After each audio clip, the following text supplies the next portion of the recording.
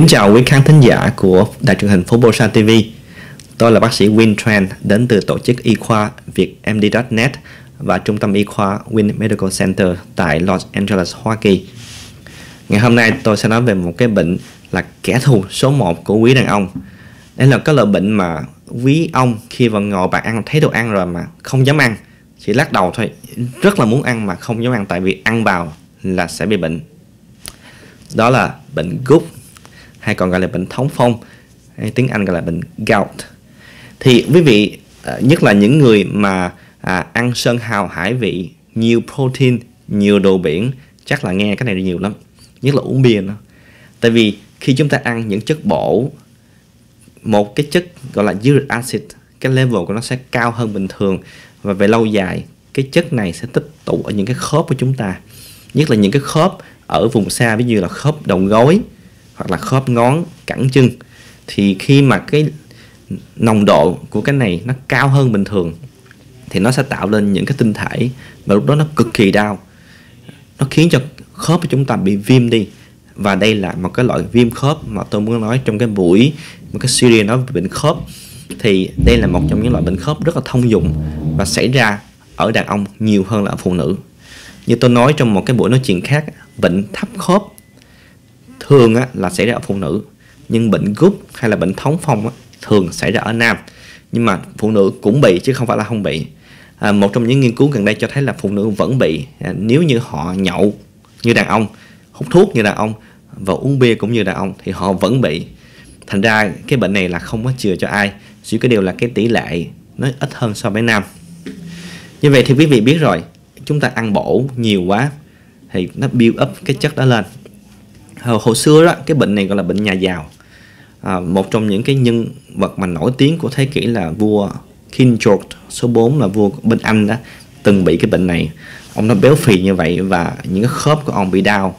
Đó là một trong những cái nhân vật lịch sử mà được chẩn đoán bệnh bệnh gút dựa vào hình ảnh. Tại vì ở cái khớp đó nổi lên những cái cục chúng ta gọi là giống như là những cái à, nó hay là những cái viên, viên mà do bệnh gút gọi là tophi bên tiếng Anh thì quý vị cũng biết khi mà chúng ta ăn đồ biển nhiều hay ăn những đó cái level của uric acid nó cao hơn. Như vậy làm sao để chữa bệnh này?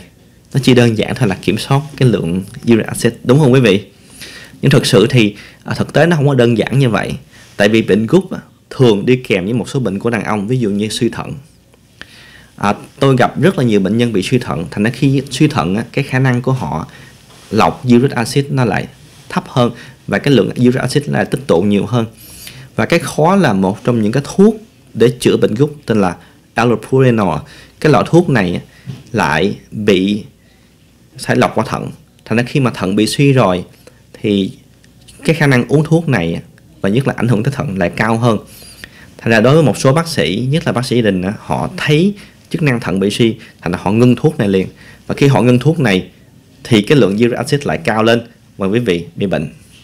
Thì đây là một trong những cái khó khăn là làm sao mà chữa bệnh gút nhưng mà vẫn giữ được cái chức năng của thận, tại vì hai cái này nó thường đi chung với nhau. Cái cách tốt nhất để chữa bệnh gút, quý vị biết là gì không? Là giống như tôi nói mới ban đầu á, là nhìn đồ ăn mà lắc đầu. Tại vì khi quý vị vô bàn nhậu á, thấy nó ngon, quý vị có thể ăn cho ngon, nhưng đừng ăn no. Ăn một con tôm hùm ăn chút xíu thôi, không cần phải ăn nhiều. Ăn một miếng đồ biển ăn chút xíu thôi. Uống bia uống chút xíu thôi. Nó sẽ dễ hơn với việc uống nóc vô một thùng bia rồi thì bảo đảm cái lượng protein hay uric acid quý vị sẽ tăng lên. Và ngày hôm sau nếu quý vị có tiền sử bệnh sử về gout quý vị sẽ biết nó đau như thế nào. Cái quan trọng hơn á, những nghiên cứu gần đây cho thấy bệnh gout thực sự nó không chỉ đơn giản về khớp mà là những người bệnh bệnh gút quý vị lại có rủi ro về bệnh tim mạch. Cái cái những người mà bị bệnh gút á cái khả năng mà họ bị lên cân đột quỵ và đau tim á, cao gấp nhiều lần so với người bình thường. Tại vì sao? Tại vì về lâu dài khi cơ thể chúng ta bị viêm vì những cái khớp này, nó khiến những mạch chúng ta cũng bị viêm. Thành ra chữa bệnh rút gút, cái chế độ ăn uống nó chỉ không đơn giản là giúp cho quý vị cái khớp không có bị đau, mà còn giúp cho tim và giúp cho ngăn ngừa đột quỵ. Thì à, tóm lại trong những cái ngày lễ hoặc là trong những cái lễ lộc chúng ta đồ ăn rất là ngon. Tôi chỉ muốn chia sẻ là quý vị nên ăn cho ngon, chứ đừng ăn no tại vì khi mà ăn ngon như vậy quý vị có thể ngăn ngừa được bệnh gút là một trong những bệnh khớp rất là thông dụng à, tại Mỹ này cũng như tại Việt Nam. Tại vì đây là một cái bệnh nhà giàu chúng ta ăn nhiều đồ bổ quá chúng ta bị đau. Xin cảm ơn quý vị đã theo dõi chương trình sức khỏe của phố Bosa TV à, quý vị nào có bất kỳ chủ đề về sức khỏe quan tâm quý vị có thể liên lạc với phố Bosa TV hoặc chúng tôi và chúng tôi sẽ rất là hân hạnh để được hầu chuyện với quý vị và tôi là bác sĩ Win Tran đến từ tổ chức y khoa Việt MD.net và trung tâm y khoa Win Medical Center à, tại Los Angeles, Hoa Kỳ. Xin cảm ơn quý vị.